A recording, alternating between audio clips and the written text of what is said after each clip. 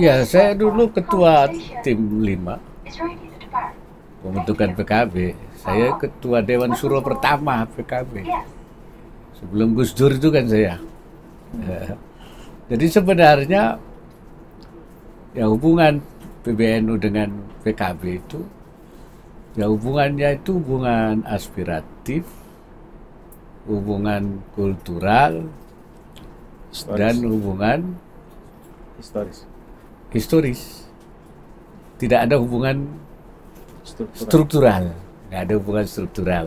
Jadi hanya eh, PKB itu diharapkan membawakan aspirasi warga NU di dalam berpolitik.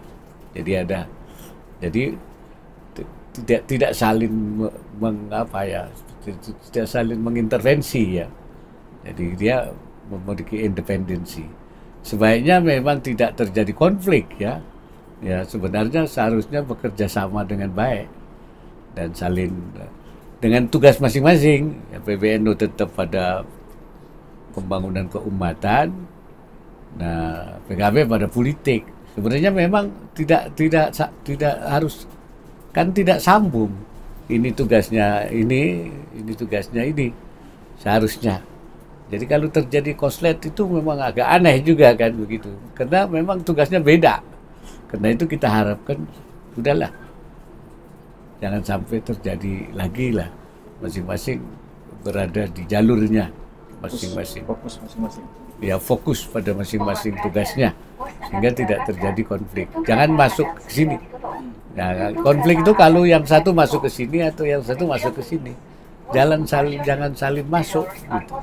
itu harapan saya semuanya berjalan dengan baik dan membawa barangkali itu harapan saya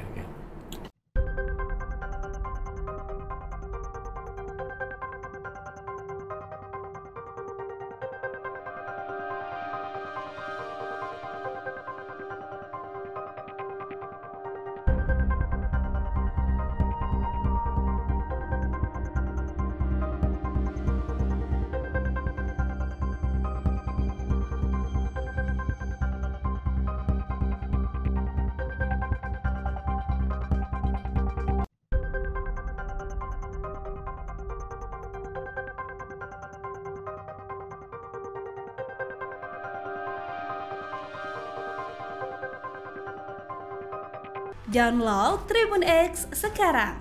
Menghadirkan lokal menjadi Indonesia.